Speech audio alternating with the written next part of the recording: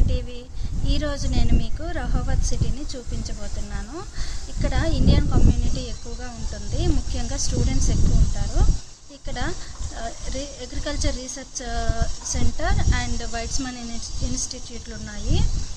Agriculture మీద ఎక్కువగా interest ఉండేవాళ్ళు ఇండియా నుంచి వచ్చి ఇక్కడ మాస్టర్స్ చేస్తారు. సో ఈ వీడియోలో భాగంగా మీకు అవన్నీ చూపించబోతున్నాను. అంతకన్నా ముందు ఇప్పటివరకు ఛానల్ సబ్స్క్రైబ్ చేసుకోకపోతే కనుక సబ్స్క్రైబ్ చేసుకోండి లైక్ చేయండి షేర్ చేయండి. మీ ఫీడ్బ్యాక్ని కమెంట్స్ రూపంలో తెలియజేయండి. మరిన్ని వీడియోస్ కోసం పక్కనే ఉన్న బెల్ ఐకాన్ని క్లిక్ చేయండి.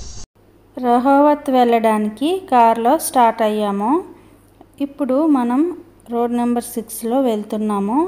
ఇంటి దగ్గర నుంచి రహోవత్కి వెళ్ళడానికి థర్టీ మినిట్స్ డ్రైవ్ ఉంటుంది. థర్టీ మినిట్స్ తర్వాత మనం రహోవత్కి రీచ్ అవుతాము. సో అక్కడి నుంచి రహోవత్ ఎలా ఉంటుందో చూద్దాం.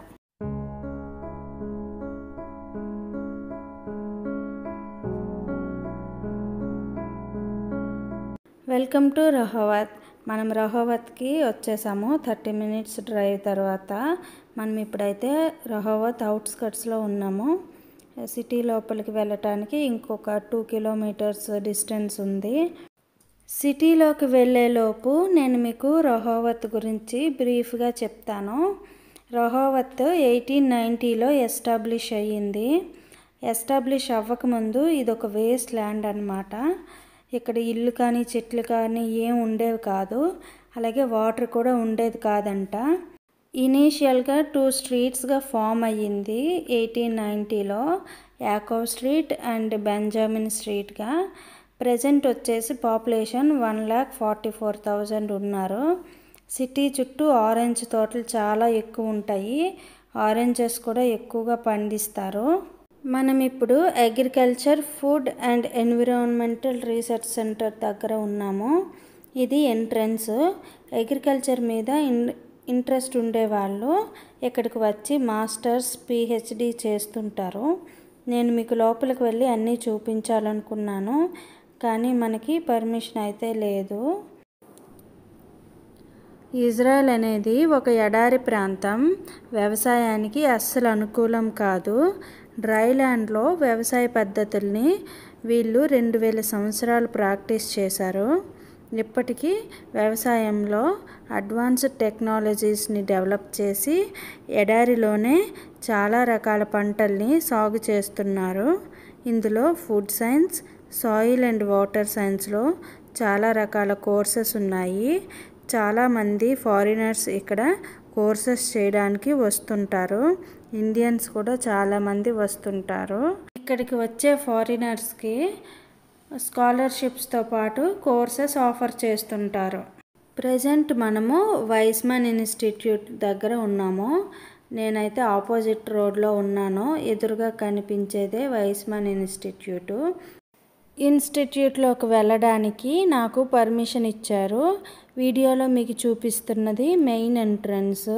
ఇప్పుడు మనమైతే లోపల కూడా వైస్మన్ ఇన్స్టిట్యూట్ ఎలా ఉందో చూడబోతున్నాము. ఇదంతా హెర్సల్ స్ట్రీట్. వైస్మన్ ఇన్స్టిట్యూట్ అనేది హెర్సల్ స్ట్రీట్లోని ఉంది. మనం ఇప్పుడు రోడ్ క్రాస్ చేసేసి వైస్మన్ ఇన్స్టిట్యూట్లోనికి వెళ్దాము. యూనివర్సిటీలోకి ఎంటర్ అయిపోయాము. ఎంటర్ అయిన వెంటనే చూసినట్టయితే ఈ విధంగా ఉంటుంది. ఇంకాస్త ముందుకెళ్ళి చూద్దాము. మనకి పక్కనే కనిపిస్తున్న బిల్డింగ్ ఉంది కదా అది వచ్చేసి అడ్మినిస్ట్రేషన్ బిల్డింగు. మనము యూనివర్సిటీలోకి ఎంటర్ అయిన వెంటనే ఈ అడ్మినిస్ట్రేషన్ బిల్డింగ్ అనేది వస్తుంది.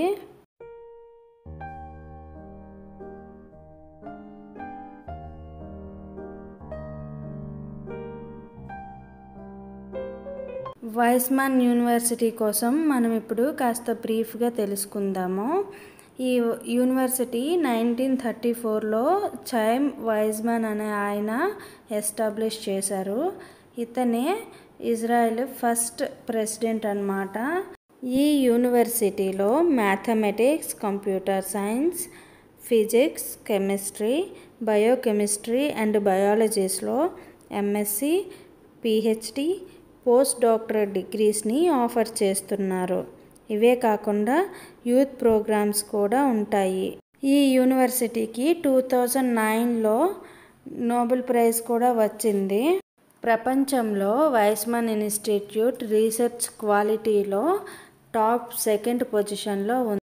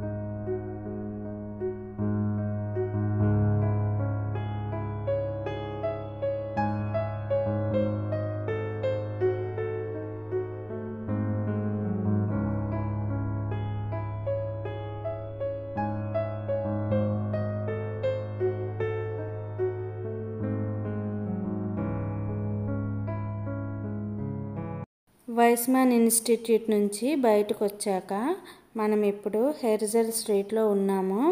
ఇక్కడంతా shopping restaurants vegetable market fruit market అన్నీ ఉంటాయి. ఇప్పుడైతే ప్రజెంట్ కోవిడ్ వల్ల సెకండ్ లాక్డౌన్ నడుస్తుంది. అందుకే షాప్స్ అన్నీ మ్యాక్సిమం క్లోజ్ చేసే ఉన్నాయి. మామూలు రోజుల్లో అయితే ఈ స్ట్రీట్ చాలా లైవ్లీగా ఉంటుంది. ప్రజెంట్ కోవిడ్ వల్ల చాలా లిమిటెడ్ షాప్స్ మాత్రమే ఓపెన్ చేసి ఉన్నాయి. నేను ఇప్పుడు బ్రెడ్ షాప్కి వచ్చాను. ఇక్కడ కొన్ని బ్రెడ్స్ అయితే తీసుకుందాం అనుకుంటున్నాను. ఇక్కడ బ్రెడ్స్ చాలా బాగుంటాయి. మేము ఇంతకు ముందు ఇక్కడ ఉండేటప్పుడు ఎవ్రీ వీకెండ్ నేను వచ్చి బ్రెడ్స్ ఇక్కడే తీసుకునేదాన్ని. చాలా ఫ్రెష్గా చేస్తారు. Different different types of breads అనేవి ఉంటాయి. అవే నేను మీకు వీడియోలో చూపిస్తున్నాను. ఈ బ్రెడ్స్ అనేవి ఒకసారి అన్ని టైప్స్ మీరు చూడండి. ఇందులో chocolate bread apple breads cheese breads sesame breads spinach breads garlic bread ఇలా చాలా టైప్స్ ఆఫ్ బ్రెడ్స్ ఉంటాయి. అన్నీ కూడా చాలా బాగుంటాయి. ఇక్కడే ఫ్రెష్గా తయారు చేస్తారు. ఇక్కడ బ్రెడ్స్ ఒక్కటే కాదు చాలా రకాల స్నాక్స్ కుకీస్ కేక్స్ చాలా వెరైటీస్ తయారు చేస్తారు.